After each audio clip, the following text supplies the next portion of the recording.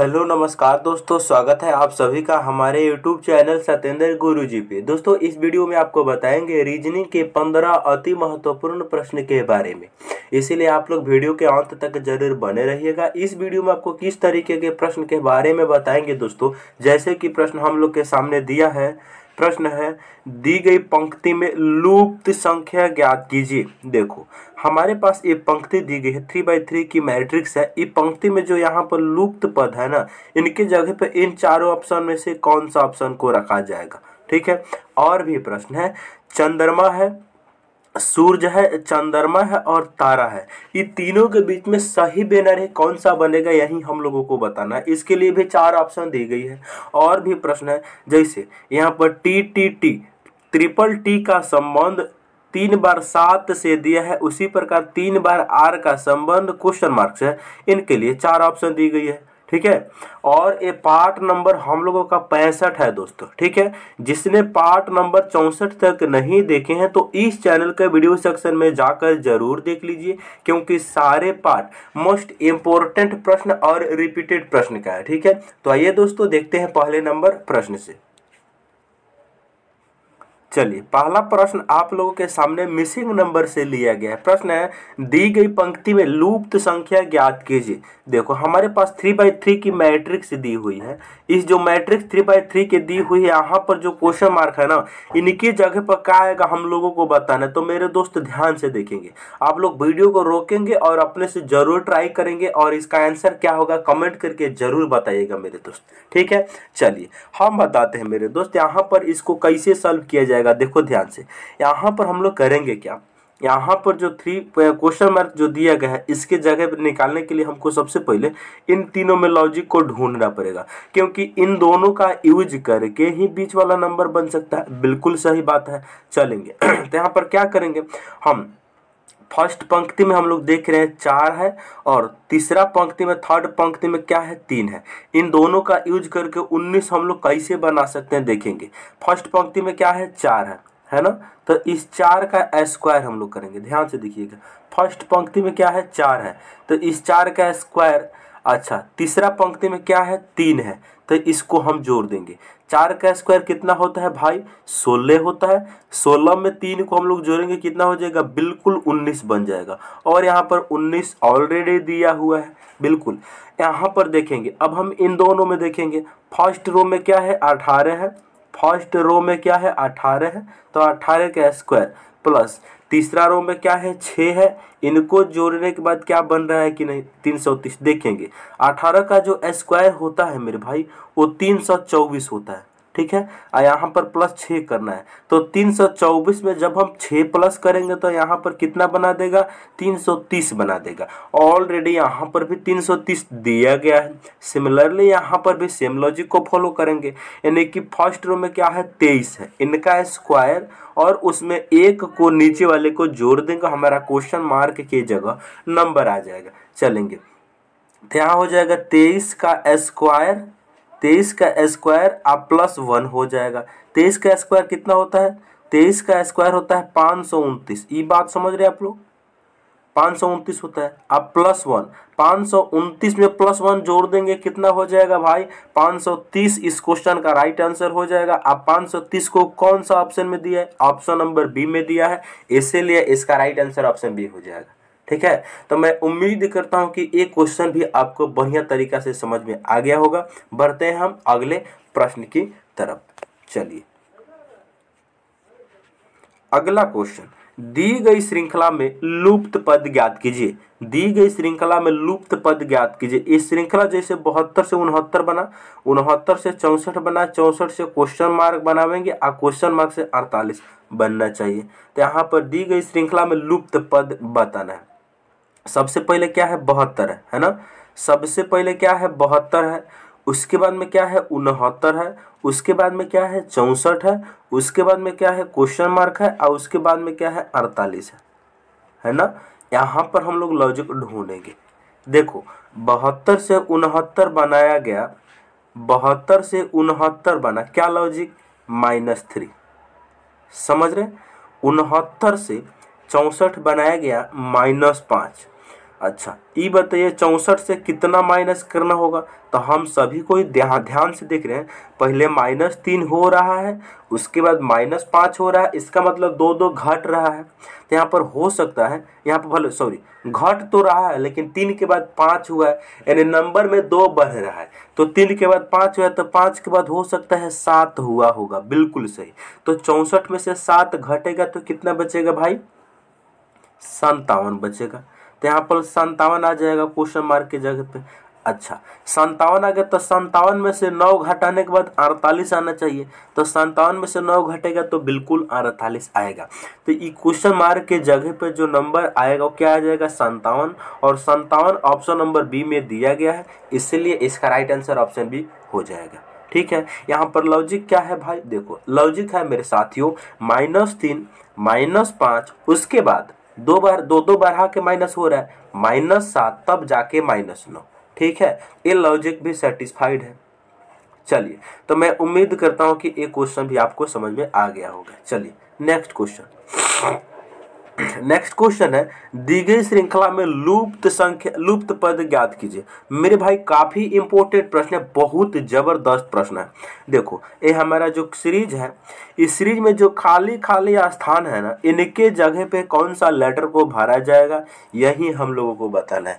तो ये जो क्वेश्चन है ग्रुपिंग मेथड से सॉल्व कर, होता है।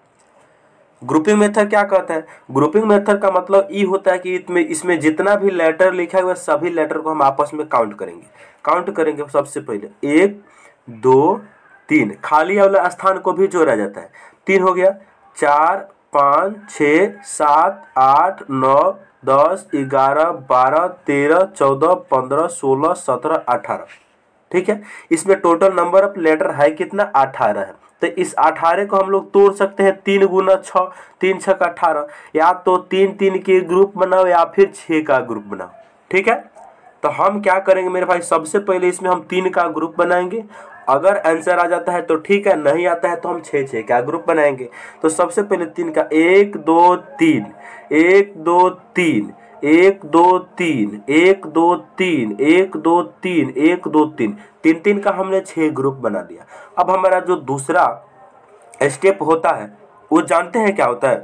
दूसरा स्टेप होता है कि अब हम चेक करेंगे कि जितना भी ग्रुप बनाई सभी आपस में सेम है कि अलग अलग यही हम लोगों को चेक करना है। तो मेरे भाई सबसे पहले यहाँ पर हम लोग देखेंगे। यहाँ पर डी और उसके बाद सी है लास्ट में क्वेश्चन मार्क है। अच्छा दूसरा ग्रुप ए बी सी है। अच्छा यहाँ पर देख रहे हैं, फिर लास्ट में यहाँ पर क्या है? देखो, यहाँ पर फ़र्स्ट लेटर डी है और लास्ट लेटर बी है। यहाँ पर फ़र्स्ट लेटर ए है लास्ट लेटर सी है। इसका मतलब यहाँ पर हम लोग देख रहे हैं अल्टरनेट ग्रुप सेम है। ई ग्रुप समान है इनके ई ग्रुप समान है इनके। ई ग्रुप समान है, इनके या ई ग्रुप समान है, इनके। ऐसे अल्टरनेट ग्रुप सेम है। तो किसी, जैसे यहाँ पर है ना ई ग्रुप सेम है, इनके आई ग्रुप सेम है, इनके। अल्टरनेट तो इनका, इनको देखकर तुम भर सकते हो। ए बी सी है ना यहाँ पर तो यहाँ पर क्या आ जाएगा? ए आ जाएगा। ए बी सी यहाँ भी ए और उसके बाद आ जाएगा बी ठीक है? तो ई तो हमारा कंप्लीट हो चुका है। अच्छा ये पहला ग्रुप है, यहाँ पर क्या आएगा? हो। ये जब अल्टरनेट ग्रुप सेम है तो यहाँ पर यहाँ पर लास्ट में क्या दिया है? लास्ट में बी दिया गया है। तो यहाँ पर आ जाएगा लास्ट में बी तो इसका ग्रुप क्या बनेगा? डी सी बी तो यहाँ पर आ जाएगा डी सी बी यहाँ पर आ जाएगा डी अब बीच में क्या है C D C B D C B E बन गया। अब तुम बताओ कि इस ग्रुप में क्या क्या तुम फील किए हो। सबसे पहले बी भर बी भरा है तो बी आएगा। उसके बाद डी भरा गया है तो डी आएगा। उसके बाद ए आएगा। उसके बाद सी आएगा। और उसके बाद बी आएगा। ऐसा कौन सा ऑप्शन में दिया है? देखो बी से शुरू हो B D A C B option number A इस क्वेश्चन का राइट आंसर हो जाएगा मेरे दोस्त। ठीक है? तो मैं उम्मीद करता हूँ कि आपको एक क्वेश्चन भी बहुत बढ़िया तरीका से समझ में आ गया होगा। बढ़ते हैं अब हम लोग अगले क्वेश्चन की तरफ़। अगला क्वेश्चन है, दिए गए विकल्प से संबंधित संख्या को चुनिए। दिए गए विकल्प से संबंधित संख्या को चुनिए। देखो, जिस प्रकार 18 का रिलेशन 323 के साथ में दिया गया है, उसी प्रकार 38 का रिलेशन क्वेश्चन मार्क के साथ में। और क्वेश्चन मार्क की जगह पर इन चारों ऑप्शन में से कौन सा ऑप्शन होगा? तो आप लोग वीडियो को रोकिए और अपने से ट्राई कीजिए। चलिए, हम बताते हैं। यहाँ सबसे पहले क्या है? अठारह है। अठारह से हम लोग देखेंगे कि तीन सौ तेईस कैसे बना सकते हैं। ठीक है? उसके बाद अड़तीस जो दिया है, अड़तीस के बाद ये क्वेश्चन मार्क के जगह पे क्या आएगा? तो सबसे पहले मेरे भाई यहाँ पर हम लोग देखेंगे कि 18 से 330 कैसे बना है। 18 है ना? इनका स्क्वायर हम लोग करेंगे। ये जो 18 है, इनका हम लोग स्क्वायर करेंगे। तो 18 का स्क्वायर होता है 324 लेकिन यहाँ पर 323 लिखा है तो 18 का स्क्वायर करके माइनस वन करेंगे ना, तभी जाके बनेगा कितना? 330 सिमिलरली यहाँ पर भी सेम लॉजिक यहाँ पर भी सेम लॉजिक जो अड़तीस है ना भाई, इनका हम लोग करेंगे स्क्वायर और माइनस वन कर देंगे। अड़तीस का स्क्वायर, जानते हैं कितना होता है मेरे दोस्त? अड़तीस का स्क्वायर होता है चौदह सौ चौवालीस। अड़तीस का स्क्वायर कितना है? चौदह सौ चौवालीस होता है। इसमें से माइनस वन करेंगे तो कितना हो जाएगा? चौदह सौ तैंतालीस। और चौदह सौ तैंतालीस को कौन सा ऑप्शन में रखा गया है? ऑप्शन नंबर बी इस क्वेश्चन का राइट आंसर हो जाएगा। ठीक है? तो मैं उम्मीद करता हूँ कि आपको एक क्वेश्चन भी बहुत बढ़िया तरीका से समझ में आ चुका होगा। बढ़ते हैं हम नेक्स्ट क्वेश्चन की तरफ़। नेक्स्ट क्वेश्चन जिस प्रकार कांच का रिलेशन पारदर्शी से है, उसी प्रकार लकड़ी का रिलेशन क्वेश्चन मार्क से है। यानी लकड़ी का रिलेशन खाली स्थान से। इसको ध्यान से देखिए। देखो, यहाँ पर जो कांच होता है, कांच का मतलब होता है शीशा। कांच क्या होता है? पारदर्शी होता है। कांच क्या होता है? पारदर्शी होता है। अच्छा लकड़ी क्या होता है? लकड़ी मेरे भाई अपारदर्शी होता है। इसका राइट आंसर ऑप्शन नंबर एक हो जाएगा। सही, अपारदर्शी। कांच का संबंध पारदर्शी से है, उसी प्रकार लकड़ी का संबंध किन से हो जाएगा? अपारदर्शी से। अच्छा मेरे भाई, अभी तक आपने वीडियो को अगर लाइक नहीं किए हैं तो वीडियो को लाइक कीजिए और चैनल पर नए हैं तो चैनल को ज़रूर शेयर और सब्सक्राइब करके अपने दोस्तों के पास शेयर करेंगे। चलिए, अगला क्वेश्चन अगला क्वेश्चन है, दिए गए विकल्पों में से भिन्न ज्ञात कीजिए। दिए गए विकल्पों में से भिन्न ज्ञात कीजिए। हमारे पास पाँच ऑप्शन दी गई है। ये पाँचों ऑप्शन में है ना मेरे भाई? कोई ना कोई अलग होगा। यही हम लोगों को बताना है। तो इसको कैसे हम लोग चेक करेंगे? देखो। यहाँ जो दिन है दिन है, सप्ताह है, वर्ष है, माह है। ये तीनों क्या है? कैलेंडर का छोटी इकाई है। जबकि समय इनसे अलग हो जाएगा, इसीलिए इसका राइट आंसर ऑप्शन नंबर पाँच। ठीक है? तो मैं उम्मीद करता हूँ कि आपको एक क्वेश्चन भी समझ में आ गया होगा। कैसे? दिन।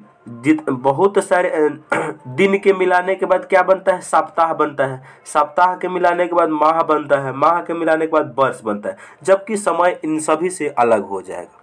चलिए, अगला क्वेश्चन अगला क्वेश्चन काफ़ी इंपॉर्टेंट प्रश्न है और ब्लड रिलेशन से लिया गया है मेरे भाई। और उसमें भी पॉइंटिंग फॉर्म का क्वेश्चन है काफ़ी।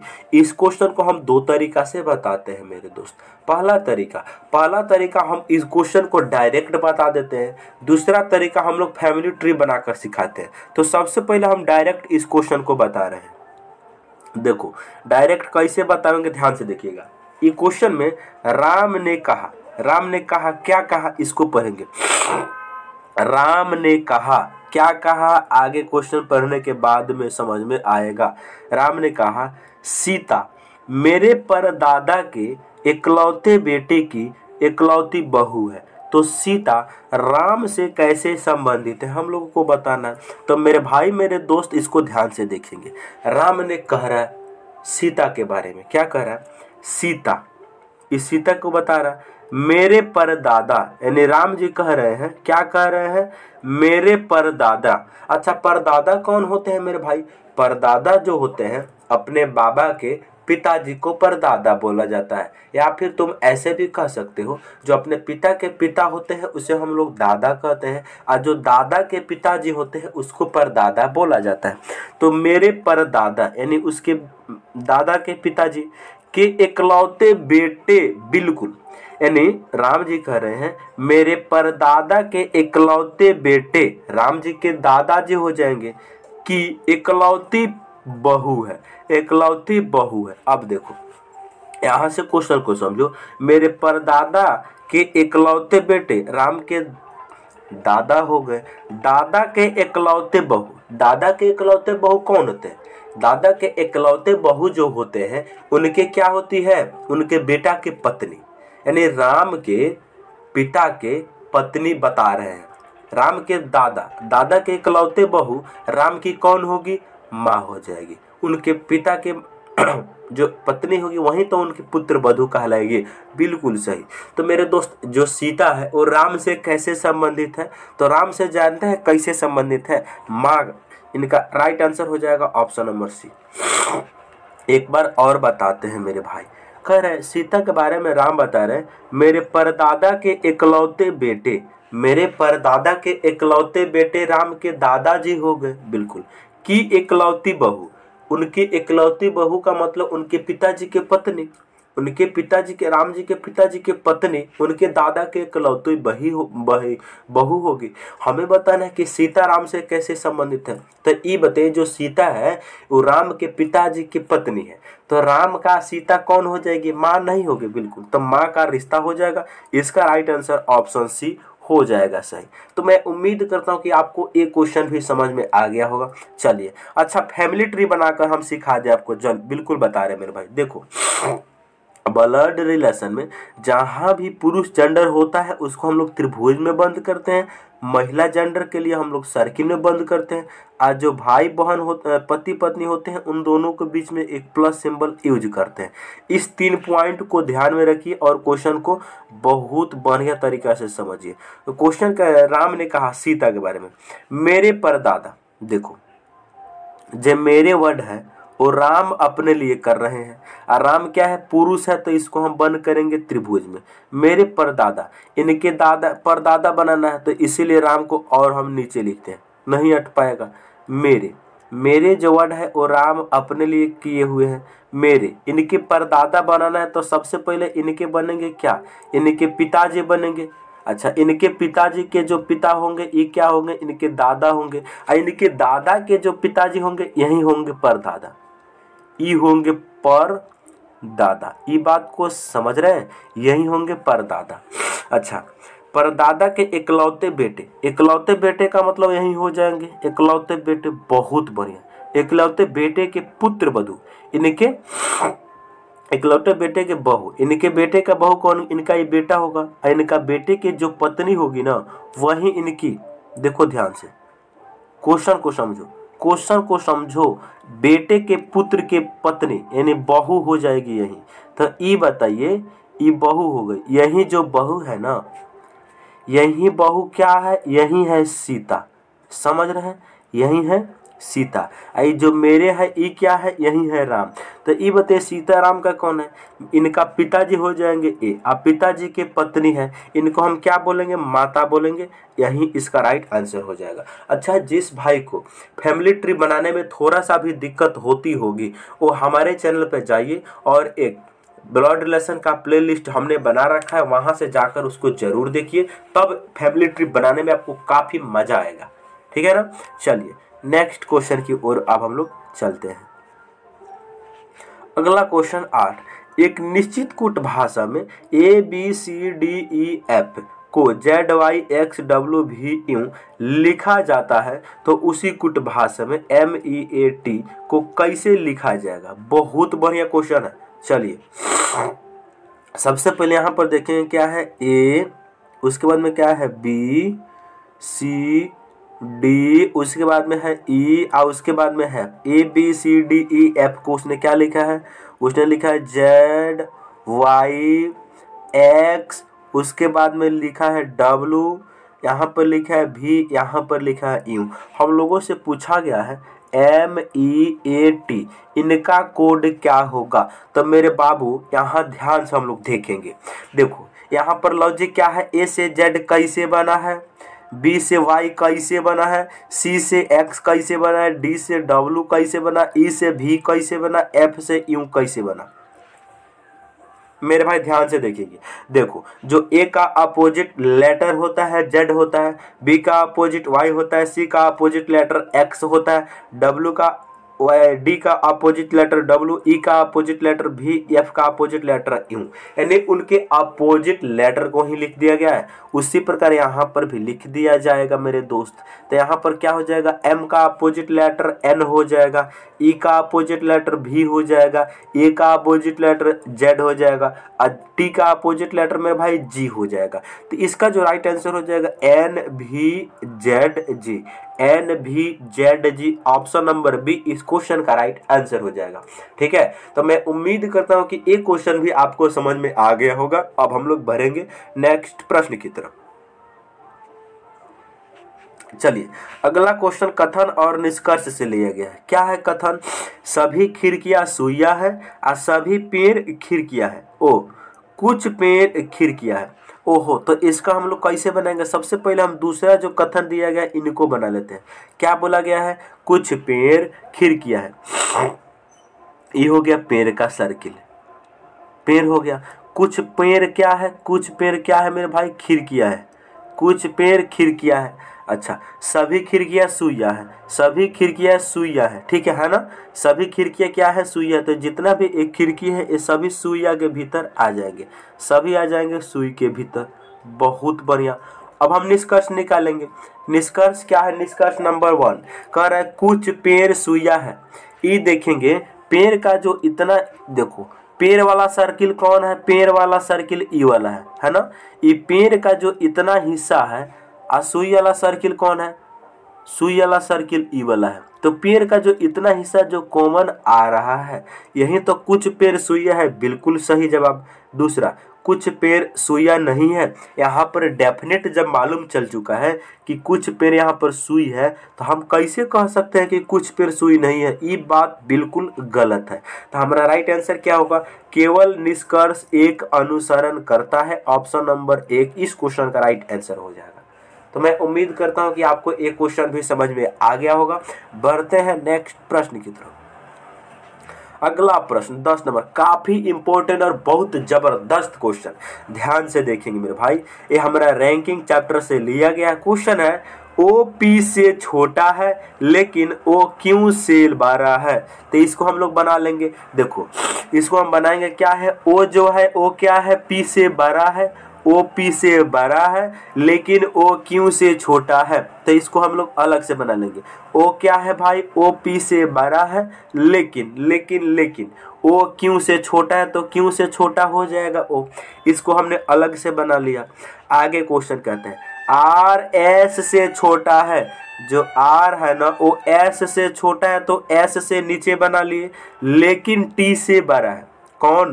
देखो आर एस से छोटा है, लेकिन टी से बड़ा है। लेकिन जो वर्ड है, इनका यूज़ होता है फ़र्स्ट नाम के लिए। इनका यूज़ होता है फ़र्स्ट नाम के लिए। तो ये बताइए, इसमें फ़र्स्ट नाम क्या है? फ़र्स्ट नाम आर है। सेकेंड नाम एस है। तो आर जो है एस से छोटा है, लेकिन टी से बारह है। कौन? जो आर है, वो टी से बारह है। तो टी से बारह हमने बना लिया। आगे पॉइंट एक और है। क्यों एस से बारह है? जो क्यों है यहाँ बनाते हैं, जो क्यों है, वो एस से बड़ा है। समझ रहे हैं? जो क्यों है, वो एस से, क्यों एस से बड़ा है? ये बात को समझ रहे हैं कि नहीं आप लोग? समझ रहे हैं? क्यों क्या है? एस से, क्यों एस से बड़ा है? यहाँ तक हमने समझ रखा। अब देखो, क्वेश्चन बताया गया है कि ओ पी से छोटा है। ओ माई गॉड, पी छोटा ना है तो हमने बारह बना दिया, गलती बना दी है। देखो ध्यान से यार। ओ पी से छोटा है। जो ओ है ना ओ पी से छोटा है। और लेकिन ओ क्यों से बारह है? ओहो ओ पी से छोटा है, लेकिन ओ क्यों से बारह है? बहुत बढ़िया। आर जो है ओ एस से छोटा है। आर एस से छोटा है, लेकिन टी से बारह है। आगे क्वेश्चन बताया कि क्यों जो है एस से बारह है। क्यों एस से बारह है? हमारे पास तीन समीकरण बना है। इन तीनों को आपस में हम ऐड करेंगे। तो ये बताइए, इसको पहले उठाते हैं हम इनको इनको उठाते हैं। तो यहाँ पर हम लिख सकते हैं पी, उसके नीचे हम लोग लिख सकते हैं ओ, उसके नीचे हम लोग लिख सकते हैं क्यू। बहुत बढ़िया। अच्छा इसके बाद अगर हम इनको उठा सकते हैं, क्यू के नीचे एस आ जाएगा। बिल्कुल बहुत बढ़िया।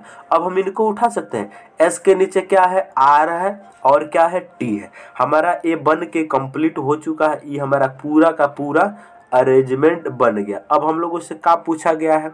हम लोगों से पूछा गया है मेरे भाई कि इनमें से सबसे बड़ा कौन है? तो ये बताइए, सबसे ऊपर कौन है? यही सबसे बड़ा है तो सबसे बड़ा पी आया है तो इसका राइट आंसर पी हो जाएगा। ठीक है?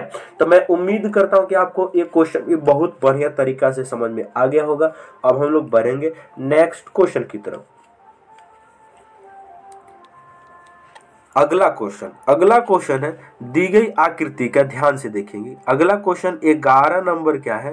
दी गई आकृति का जल प्रतिबिंब ज्ञात कीजिए। जल प्रतिबिंब में एक्चुअल होता है क्या? कि उसमें ऊपर और नीचे आपस में चेंज होते हैं, दाया बाया चेंज नहीं होता है। कैसे? जब हम लोग अपना चेहरा किसी पानी की जगह पानी रहेगा, समतल पे वहाँ पे जाके खड़ा होंगे ना तो हमारा पैर जो है वो ऊपर दिखेगा, सर है वो नीचे दिखता है। और दाया, आप बाया आपस में चेंज नहीं होता है, ये बात को समझिएगा। तो उसी प्रकार ये जो बाल्टी बनाया हुआ है ना, इसका ऊपरी भाग ही गोला वाला है और निचला भाग ई है। तो ये आपस में इंटरचेंज हो जाएगा। और इंटरचेंज होगा तो ये छोटका ऐसे बनेगा, देखो ध्यान से। ये छोटका जो बनेगा, वो ऐसे बाल्टी बनेगा, वो ऐसे बनेगा। ऐसे बनेगा बाल्टी मेरे भाई। नीचे और ऊपर आपस में चेंज हो जाएगा। ठीक है ना? आई से बनाया जाएगा आई से। और ऐसा कौन आई बॉक्स में बंद रहेगा। ऐसा कौन सा ऑप्शन में दिया है भाई? ध्यान से देखो। ऐसा कौन सा ऑप्शन में दिया है? तो ऐसा ऑप्शन नंबर ए हो ही नहीं सकता क्योंकि उल्टा बना दिया। ऑप्शन नंबर बी हो ही नहीं सकता, गलती बना दिया। ध्यान से देख रहे हैं? नहीं ऑप्शन नंबर बी ठीक है ठीक है। ऑप्शन नंबर सी गलती बना दिया क्योंकि ये जो ई वाला भाग इधर नहीं आ सकता। ऑप्शन नंबर डी भी गलती है। ऑप्शन नंबर बी कुल मिलाकर सही है। हु बहु ऑप्शन नंबर बी बनाया हुआ है। देख रहे हैं ध्यान से। आपको बस इतना याद रखना है कि जल प्रतिबिंब में होता है क्या? ऊपर और नीचे आपस में चेंज हो जाते हैं। ऊपर नीचे आपस में चेंज हो जाते हैं। जो ऊपर वाला भाग है ना, ये दर्पण में नीचे चला आएगा और जो नीचे वाला भाग है, ये दर्पण में ऊपर चला आएगा बस यही हम लोगों को बताना था। ठीक है? चलिए नेक्स्ट क्वेश्चन अगला क्वेश्चन अगला क्वेश्चन काफ़ी इंपॉर्टेंट और मज़ेदार भी है। क्वेश्चन है सूरज, चंद्रमा और तारा। इन तीनों के बीच में सही बेनारे कौन सा बनेगा बताना? देखो, हम सभी लोग बहुत बढ़िया तरीके से जानते हैं। चंद्रमा का है। चंद्रमा पृथ्वी का एकमात्र उपग्रह है। चंद्रमा पृथ्वी का एकमात्र उपग्रह है। तो चंद्रमा क्या है? उपग्रह है। अच्छा सूर्य क्या है मेरे भाई? सूर्य एक तारा है। सूर्य एक तारा है। अच्छा चंद्रमा तारा के बीच में कोई संबंध है? नहीं, कोनो संबंध नहीं है। अच्छा सूरज और चंद्रमा के बीच में कोनो संबंध है नहीं, इनके बीच में भी कोई संबंध नहीं है। तो इसका जो बेनर एक बनेगा मेरे भाई, वो इस प्रकार से बनेगा। देखो एगो छोटा सा सर्किल बनेगा ये हो जाएगा सूर्य का। उसके ऊपर आ जाएगा तारा। सूर्य क्या है? एक तारा तो तारा का भीतर आ जाएगा। और चंद्रमा अलग से बन जाएगा। चंद्रमा अलग से बन जाएगा। अब हम इनको लिख भी देते हैं। चलो, यहाँ देखो, ई क्या है? ई है चंद्रमा। चंद्रमा। चंद्रमा एक उपग्रह है। अच्छा ये बीच वाला सर्किल क्या है? ये है हमारा सूर्य। ये हमारा सूर्य है। सूर्य है। अच्छा ई क्या है? ई है हमारा तारा। सूरज एक तारा है। तो सूरज जो है, वो तारा के भीतर में आ जाएँगे और चंद्रमा अलग बनेगा इनका। तो ऐसा कौन सा ऑप्शन में दिया है भाई? ऐसा आर एक ऑप्शन नंबर डी में दिया है। इसीलिए इस क्वेश्चन का right answer option number D हो जाएगा मेरे भाई। ठीक है? तो मैं उम्मीद करता हूँ कि आपको एक क्वेश्चन में बहुत बढ़िया तरीके से आपने समझ रखा होगा। इसीलिए अब हम लोग भरते हैं नेक्स्ट क्वेश्चन की तरफ़। नेक्स्ट क्वेश्चन नेक्स्ट क्वेश्चन है, कौन सी उत्तर आकृति ध्यान से देखिएगा। कौन सी उत्तर आकृति प्रश्न आकृति को पूरा करेगी? कौन सी उत्तर आकृति प्रश्न आकृति को पूरा करेगी? ध्यान से देखेंगे भाई। हमारे पास चार ऑप्शन है। इन चारों ऑप्शन में से कौन सा ऑप्शन को यहाँ पर लगा दिया जाए ताकि आकृति एक कंप्लीट बन जाए? देखो, यहाँ पर ऐसे लगाया जाएगा। एक तो सबसे पहले इस तरह स्क्वायर बनेगा। स्क्वायर बोलो, आयत बोलो, इस प्रकार से बनेगा। समझ रहे हैं? इस प्रकार से एक बनेगा। यहाँ से एक लाइन आएगा, ऐसे। समझ रहे हैं? बिल्कुल से एक लाइन आएगा। यहाँ पर इसके सामने आयत बनाया हुआ बीच में तो इसके सामने बिंदा बनेगा, यानी बीच में कलर किया हुआ सर्किल बनेगा, ऐसे। समझ रहे हैं? अच्छा उसके बाद एक लाइन आएगा, ऐसे। अब बताओ, ऐसा कौन सा ऑप्शन में दिया है? ऐसा यहाँ पे सर्किल नहीं दिया, इसीलिए बी गलत। ये बिंदा बाहर दे दिया, इसीलिए सी गलत। यहाँ पर तो ई कोना पे हो ही नहीं सकता तो इसीलिए ऑप्शन डी गलत। बच्चा क्या? ऑप्शन नंबर ए इस क्वेश्चन का राइट आंसर हो जाएगा मेरे दोस्त। ठीक है? ऑप्शन नंबर ए इस क्वेश्चन का राइट आंसर हो जाएगा मेरे दोस्त। चलिए नेक्स्ट क्वेश्चन अगला क्वेश्चन काफ़ी इंपॉर्टेंट है, बोल रहा है डबल टी ट्रिपल टी का संबंध ट्रिपल सेवन से है, उसी प्रकार ट्रिपल आर का संबंध क्वेश्चन मार्क से चलेंगे तो यहाँ पर क्या है? टी है टी है टी है। उसको उसने क्या लिखा है? सात सात और सात लिखा है। हम लोगों से पूछा गया है आर आर आर इनका संबंध क्वेश्चन मार्क है। चलो मेरे भाई, हम आपको बताते हैं, एक बात बताएँगे। ये जो तीन गो टी है, इनका यूज़ करके तीन गो सात कैसे लिखा गया? इनको देखेंगे। ये तीन गो तीन से तीन गो सात कैसे लिखा है? भाई, हम सभी कोई बहुत बढ़िया तरीका से जानते हैं। अंग्रेज़ी बरमाला में जो टी का अपोजिट लेटर होता है, वो क्या होता है? टी का अपोजिट लेटर होता है मेरे भाई जी। हम सभी कोई जानते हैं? बिल्कुल। अच्छा जी का अंग्रेज़ी बरमाला में स्थान कितना होता है? जी का स्थान होता है सात। होता है। तो टी का अपोजिट हो गया इनका देखो। अब आपको ये बात समझ में आ गया होगा। टी का अपोजिट लेटर क्या होते हैं? टी का अपोजिट लेटर होते हैं मेरे भाई। टी का अपोजिट लेटर होता है जी और जी का अपोजिट लेटर होता है टी ये बात को आप लोग समझ रहे हैं? अच्छा अंग्रेज़ी बरमाला में जो जी होता है, उनका स्थान होता है सात। बस यही किया गया है। टी का अपोजिट लेटर का प्लेस सात। इस टी का भी अपोजिट लेटर का प्लेस सात। इस टी का भी अपोजिट लेटर का प्लेस सात। हो गया। उसी प्रकार आर का जो अपोजिट लेटर होता है, हम सभी कोई जानते हैं। क्या होता है? आर का अपोजिट लेटर क्या होता है? नहीं याद है। आप भूल गए। कुछ नहीं करो। सताइस में से आर को घटा दो। बस। सताइस में से आर का घटा दो। सताइस सताइस में से आर का स्थान कितना होता है? अठारह होता है। सताइस में से अठारह को घटाओगे, कितना बचेगा? नौ बचेगा और नौवा लेटर कौन होता है भाई? आई होता है। तो आर का अपोजिट हो जाएगा यही। जिस लेटर का भी अपोजिट लेटर निकालना है ना सिंपल तरीका है कि सत्ताईस में से उसको घटा देना मेरे दोस्त। ठीक है? चलिए। तो आर का अपोजिट मालूम चल चुका है कि क्या होता है? आई होता है। अंग्रेज़ी बरमाला में आई का स्थान कितना होता है मेरे भाई? नौ होता है। बस ई e आर का अपोजिट भी नौ हो जाएगा। ई e आर का अपोजिट भी नौ लिख देंगे। ई e आर का अपोजिट लेटर का प्लेस नौ लिख देंगे। तो ट्रिपल नाइन इस क्वेश्चन का right answer option number D हो जाएगा सही। तो मैं उम्मीद करता हूँ कि आपको एक क्वेश्चन भी समझ में आ चुका होगा। बढ़ते हैं नेक्स्ट प्रश्न की तरफ़। नेक्स्ट प्रश्न काफ़ी इंपॉर्टेंट और हमारा डायरेक्शन से लिया गया सबसे पहले डायरेक्शन हम लोग बताएँगे। देखो डायरेक्शन हमारा पेपर पे जब भी हम लोग बनाते हैं तो कुछ इस प्रकार से बनाते हैं। जब भी हम लोग पेपर पे डायरेक्शन बनाते हैं तो ऊपर में हमेशा उत्तर होता है, नीचे में हमेशा दक्षिण होता है, दहिने बगल में हमेशा पूर्व होता है, बाएँ बगल में हमेशा पश्चिम होता है होता है? अब हम देखेंगे मेरे भाई, इसको बनाएँगे। प्रबीन प्रणीता प्रणीता उत्तर दिशा में जाती है। प्रणीता नाम की एक लड़की है, वो बता रहे कि वह उत्तर दिशा में जाती है। बहुत बढ़िया। प्रणीता उत्तर दिशा में जाती है। फिर वह दाई और मूर्ति है। फिर वह दाई और मूर्ति, यानी दाया हो जाएगा इसका ई साइड में। तो दाई और मूर्ति है। बहुत बढ़िया। दोबारा से दाई और मूर्ति है। आप दोबारा से दाई और मूर्ति है।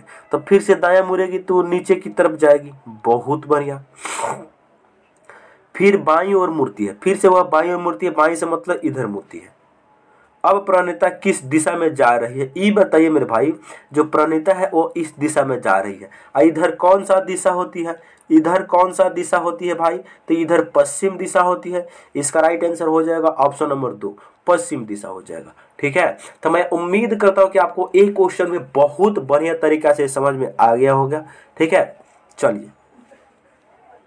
तो मैं उम्मीद करता हूँ कि आपको इन सारे प्रश्न को बहुत ही अच्छे तरीका से समझ में आ गए होंगे। यदि आप हमारे चैनल पर पहली बार आए हैं तो चैनल को ज़रूर सब्सक्राइब करें और साथ ही साथ बेल आइकॉन को ऑन कर लीजिए, ताकि मैं जब वीडियो डालूं तो नोटिफिकेशन सबसे पहले आपके पास पहुँचे।